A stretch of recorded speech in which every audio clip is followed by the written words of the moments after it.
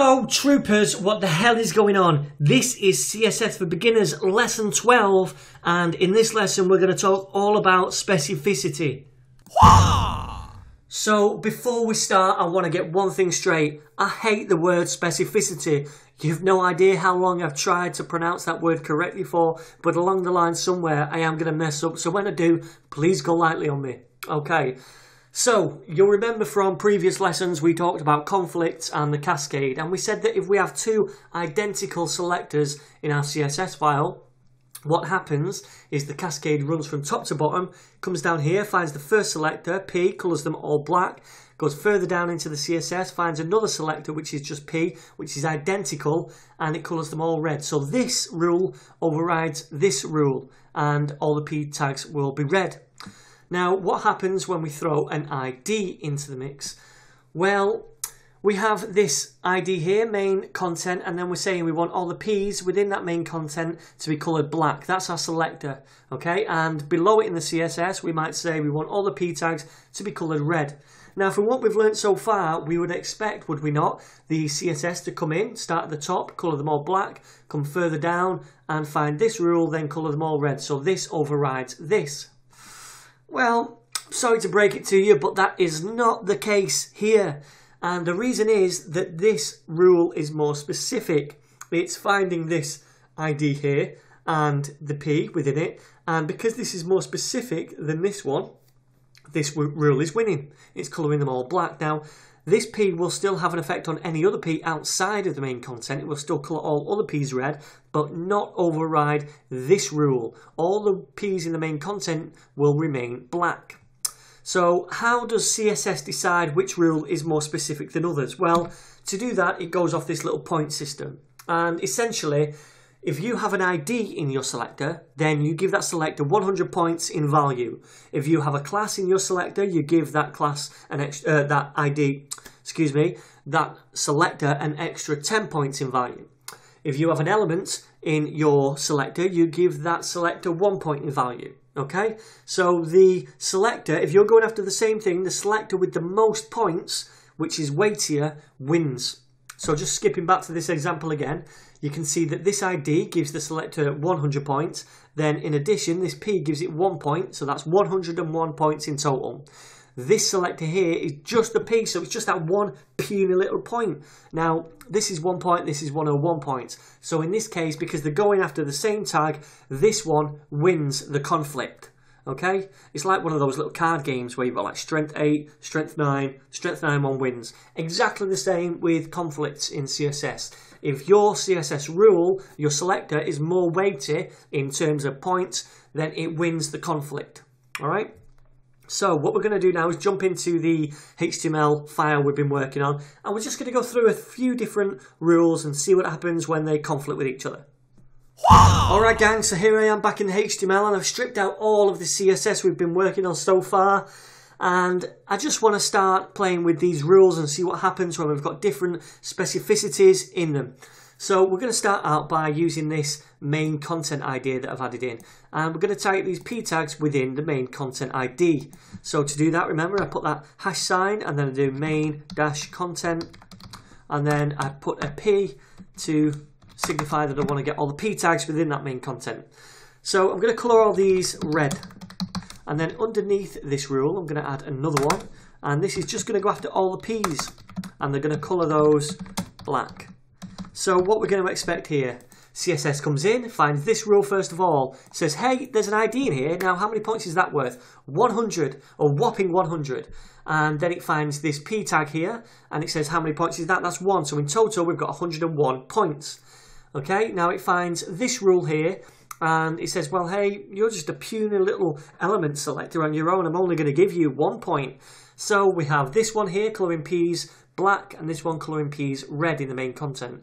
Now this one's going to win because it's 101 points and this is only one point. So you're going to find that every P tag in the main content is going to be red.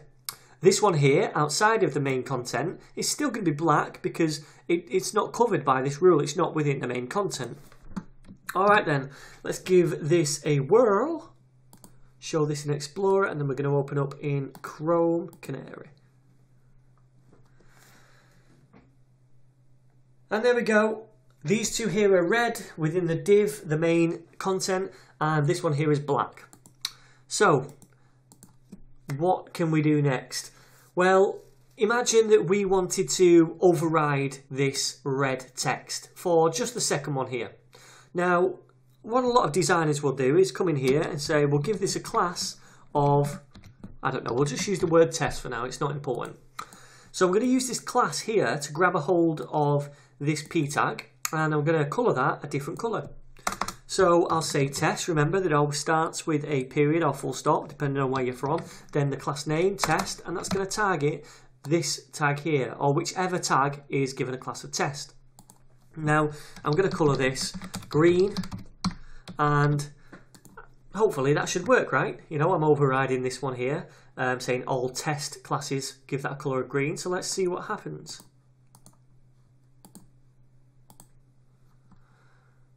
What? Okay, so it's not green. Now, what's going on? Hmm. Well, this is what's happening. The CSS is starting at the top. It's finding this rule, which we remember is 101 points. So all these are currently red, all these P's here. It's coming down here. This is one point, so it's going to say, nah, I don't want to override these ones here. I'm not going to colour those black. They're still red. Then it's finding this test here, this test class, and it's saying, okay, well, you want all the test classes colour green, but I'm not going to do that. And you know why? Because a class only has 10 points. 10 points, that's all it has. An ID has a massive 100 points. So this wins. Why am I going to colour this green when you've not given it um, a value more than 101 points? So this isn't going to work, and this is where a lot of designers fall flat on their faces. They're pulling their hair out, pulling their teeth out, thinking, why on earth is this not working? You know, I'm giving it a class. I'm explicitly saying colour these greens. So work, damn you.